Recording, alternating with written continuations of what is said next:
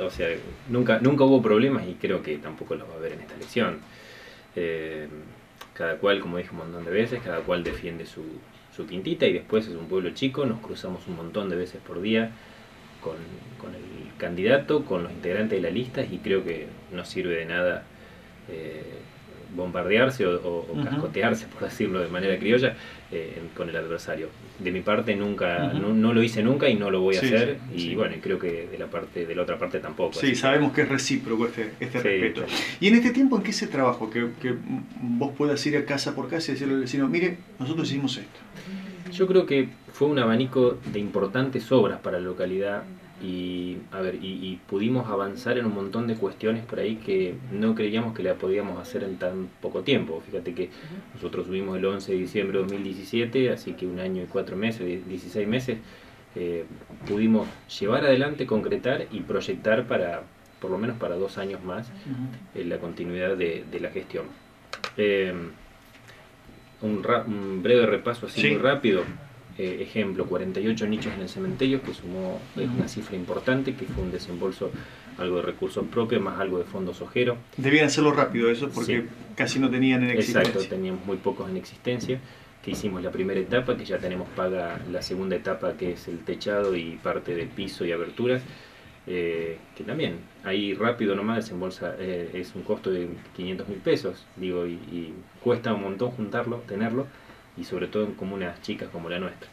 Eh, obra culminada como fue la ampliación del Sanco hace un mes atrás, una obra que costó 707 mil pesos que recibimos de Promudi, más 250 mil pesos aproximadamente que puso la comisión del Sanco.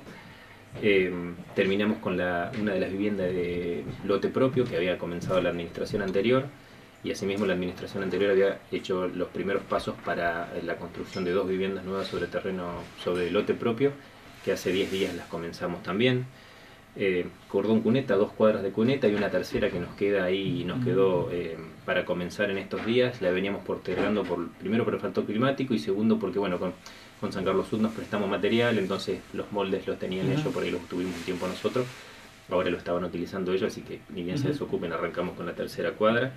Eh, compramos una máquina niveladora de rastre de la comuna, o sea que pertenece a la comuna de Gelo, porque nosotros tenemos una, una motoniveladora que está en comodato con Vialidad, que son las famosas Tiangong, esas que sí, chinas, exacto. Sí, compradas en el último periodo Entonces, bueno, exacto. Eh, como es de Vialidad, no es nuestra, bueno, compramos una máquina de arrastre, recibimos un importante desembolso del Ministerio de Obras Públicas de parte de Pedro Morini de 798 mil pesos para la remodelación de la plaza, que la arrancamos hace poquitos días, también siempre por el factor climático, posterior también al festival que era en febrero que es el, arreglo y la reparación de todas las veredas perimetrales, las, las ocho que salen para las esquinas y para los centros, y el playón, sumado eso luminaria, los bancos nuevos, y bueno, y si nos alcanza el dinero, que lo estamos estirando, va a ser eh, el parque nuevo, parque para niños nuevo.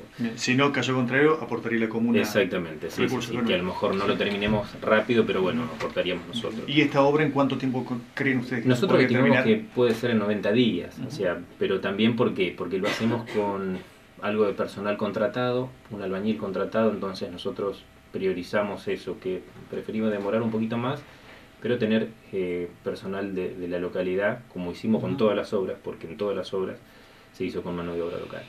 Así que, bueno, obras importantes, eh, bueno, después en lo educativo ni hablar, el aporte permanente a las, a las dos escuelas, a las tres digo, porque está la escuela primaria que nosotros le aportamos todos los meses, el Fondo de Financiamiento Educativo, que en 16 meses de gestión sumamos 522 mil pesos.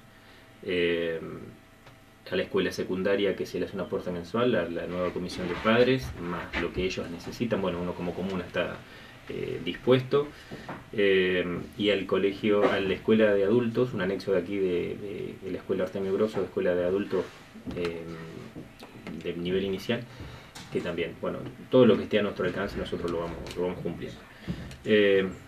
instituciones, creo que a todas no quedó ninguna que no haya recibido un aporte, grande o chico, pero desde la comuna, más los gestionados en la provincia. Ejemplo, la Comisión del Tiro recibió 100 mil pesos para la construcción de baños, que lo empezaron hace poquitos días.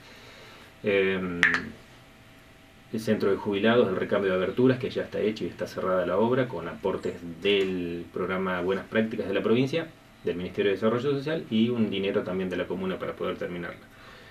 Em, garitas de colectivo, el reacondicionamiento más la garita nueva. Em, hoy casualmente arranca a colocar las cabreadas la empresa Weyman en el techo del club. Son 1180 metros cuadrados del, gimnasio del Polideportivo. Es enorme el gimnasio. Es enorme. Eh, esto era un aporte que habíamos conseguido en el 2017, yo no era presidente comunal, en octubre del 2017 de 300 mil pesos y con eso se compró todo el material y el año pasado, a fin de año, en diciembre, recibieron 150 mil pesos y de esos 150 mil pesos se pagó la mano de obra. Lo que resta, que es una cifra que rondará ahí los 100 mil pesos, con recursos de la comuna lo vamos a terminar, más el material de encofrado de patas y demás. O sea que eh, importantísimo. No, sé si mencionó la remodelación del Zanco también. Sí, sí lo había dicho. Sí, sí, es, ese tema no, no fue menor, digo, eh, porque el movimiento de los zancos en los, en los pueblos es constante eh, y, necesita la gente tener buenas comodidades cuando llega, condolencias y también los profesionales que se desempeñen tener un lugar acorde ¿no? al, al espacio.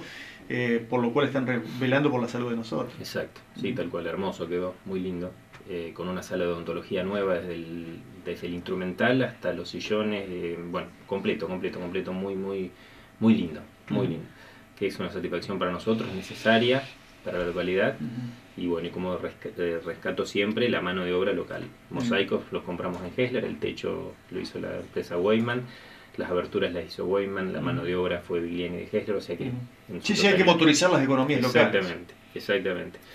Eh, y, en esta historia, digo, hay mucha diferencia de precio porque, por un lado, ustedes, digo, no, no es un tema menor, tratan de tenderle una mano al comercio o a las empresas locales. Y por otro lado, tal vez otra gente de la ciudad dice, bueno, pero si nuestra empresa local es tan alta, vamos a cuidar el monto de todo. No, yo creo que hasta, exacto, hasta cierto margen que nosotros podamos manejar se compra en el pueblo. Ya si no hay o excede notablemente, es lógico que por ahí buscamos por la mm, cantidad. Pero, pero bueno, a ver, ¿qué es lo que no tenemos en el pueblo? Por ahí es un corralón grande, entonces lógicamente vamos a, otro, lugar. a otro lugar. Juan Pablo, ¿y qué le pide la gente? Digo, bueno, a ver si, Juan Pablo, si sos reelecto, yo quiero esto, porque no lo podemos dilatar más. Exacto, vamos por algo muy importante, que es la necesidad de viviendas. Es un problema de muchos años, la comuna no tiene terrenos propios. Esto es un gran problema. Es un gran problema. Porque a diferencia de muchos pueblos donde hay terrenos ociosos, comunales aquí no hay. No, no hay. Entonces, con un dinero que teníamos en que es obras menores, teníamos algo de 2017, algo de 2018 y parte del 2019 porque se nos descuenta el equipar de una, del plan equipar que se nos descuenta la cuota de la retroexcavadora. Eh, con todos esos fondos que suman 1.380.000 más algo de recursos propios, estamos cerquita de comprar un terreno que entrarían entre 9 y 10, 10 eh, lotes para la construcción de entre 8 y 10 casas.